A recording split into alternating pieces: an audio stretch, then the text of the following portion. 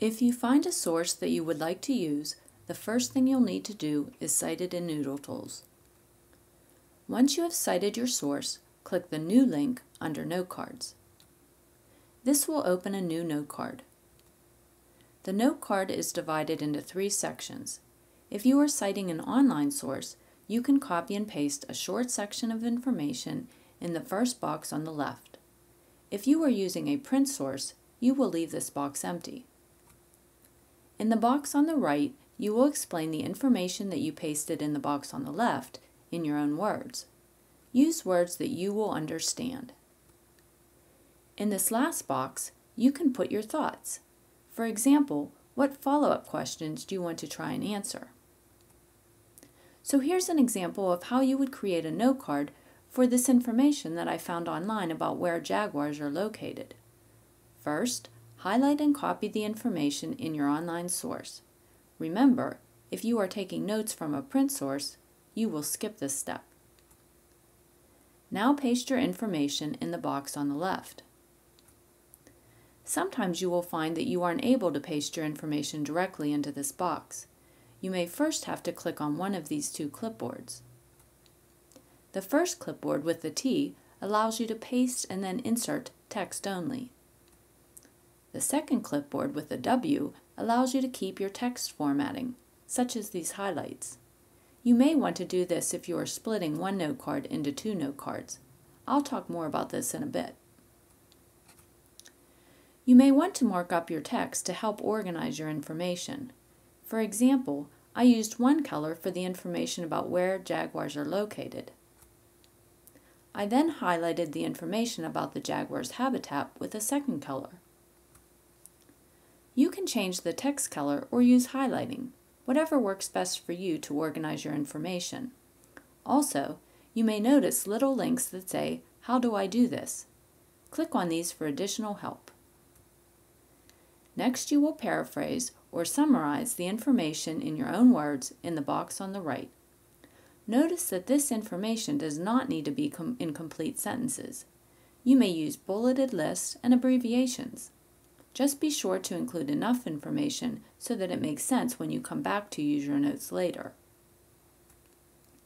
Now you are ready to give your note card a title. Your title should be the main idea.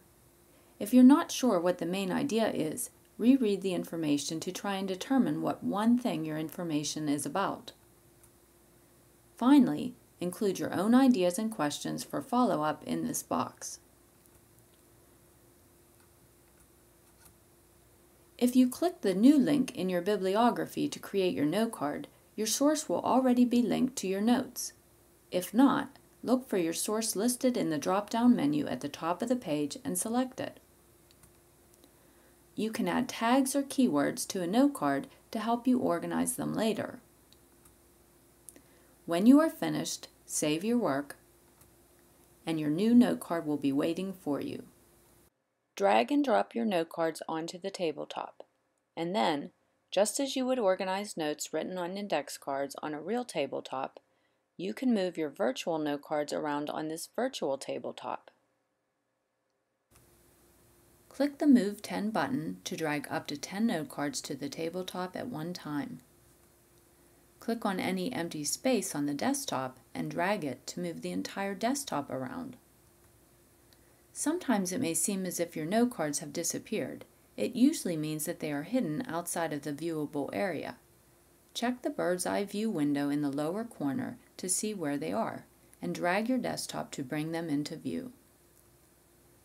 If you have added tags to your note cards, you can search for a specific tag to find note cards with related ideas. Then click the Add to Pile button to create a pile with these related note cards. You can add them to an existing pile or create a new pile. The piles that you create can give you ideas for subtopics for your outline. You can either develop an outline as you go using the topics and subtopics from your note cards, or create your outline first before you start to take your notes. This way provides you with a map of the information you need to find. Once you have an outline, Drag your notes and piles onto the appropriate topics or subtopics. And watch your outline grow. You can go back to your bibliography at any time and add another source. Once you have added a note card to a source, you can click the Show link, and you will see all the notes you have taken from that one source all in one place. To continue to work with your note cards and build your outline, click the note cards link at the top of the page at any time.